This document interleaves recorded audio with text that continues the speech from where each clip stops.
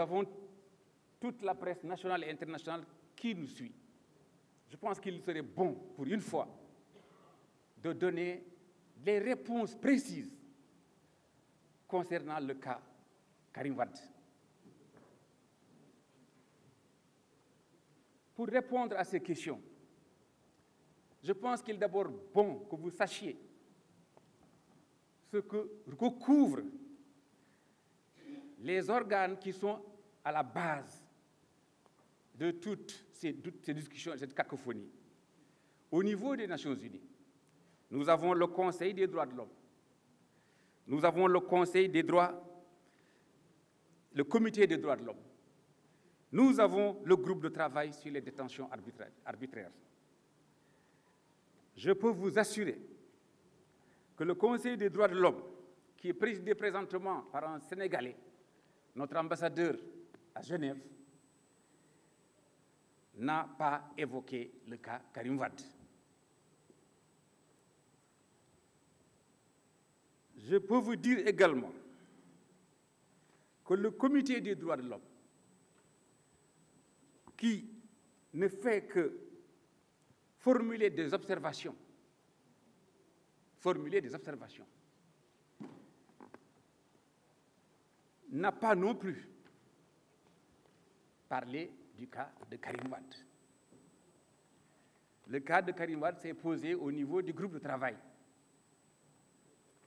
Ce que je voudrais que vous sachiez, c'est que le groupe de travail, les décisions du groupe de travail n'ont aucune valeur contraignante. Aucune valeur contraignante. Le Sénégal est un pays de droit. Le Sénégal respecte sa signature. C'est pour, ça que, cela que le Sénégal accepte, bien que ça lui coûte énormément en frais, d'aller répondre effectivement aux questions de ce groupe de travail-là. Ce groupe de travail a estimé dernièrement que le Sénégal n'avait pas effectivement groupe travail saisi, bien entendu, par Karim Wad, que le Sénégal a violé l'article 14 paragraphe 5 du pacte de la loi de procédure relative à la Cour de répression et d'enrichissement illicite en permettant pas de faire réexaminer la décision de culpabilité et de la condamnation par une juridiction supérieure.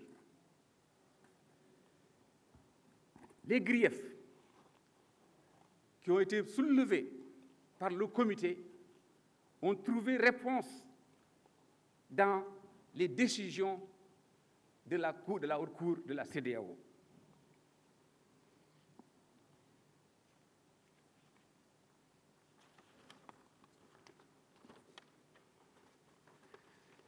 Je vais vous citer ce qu'a décidé la, la, Cour de la CDAO. Elle a décidé que concernant le cas Karim Wad, la Cour de justice de la CDAO, qui est la juridiction communautaire compétente en matière de violation des droits de l'homme, sur saisine de ce dernier, après avoir visé la Déclaration universelle des droits de l'homme du, du 10 décembre 1948, la Charte africaine des droits de l'homme et des peuples du 27 juin 1981, le pacte international relatif aux droits civils et politiques, pacte sur lequel s'est fondé le comité, s'est prononcé sur les prétendues violations du droit de participer librement à la direction des affaires publiques de, son pays et du droit de concourir utilement, en, a rendu un arrêt en date du 4 mars 2019. Cet arrêt statue en ces termes. Vous me permettrez de vous lire ces passages. Sur la violation du droit de participer librement à la direction des affaires publiques de son pays, la Cour a décidé.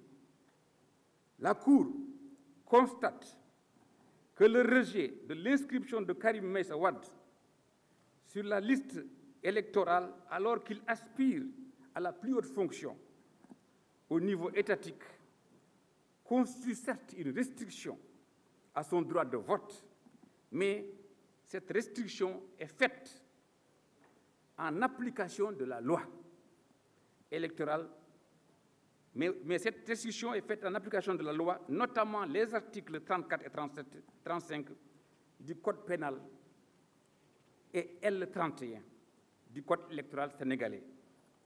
Elle vise à réprimer plus sévèrement certains faits lorsqu'ils sont commis par des personnes dépositaires de l'autorité publique. Cette privation de l'exercice du droit au suffrage est attachée de plein droit à diverses condamnations pénales sans que le juge qui décide de ces mesures ait à les prononcer expressément. La restriction opérée est donc légale et nécessaire.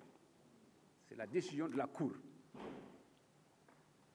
Sur la violation du droit à un recours utile, la Cour dit, en l'espèce, il n'est pas contesté que le requérant résidait au Qatar et avait formulé sa demande d'inscription sur la liste électorale à la représentation diplomatique du Sénégal au Koweït. En application du décret précité, précipité, précité Karim Meissawad aurait dû saisir le chef de la représentation diplomatique au Koweït pour solliciter le rétablissement de son nom sur la liste électorale.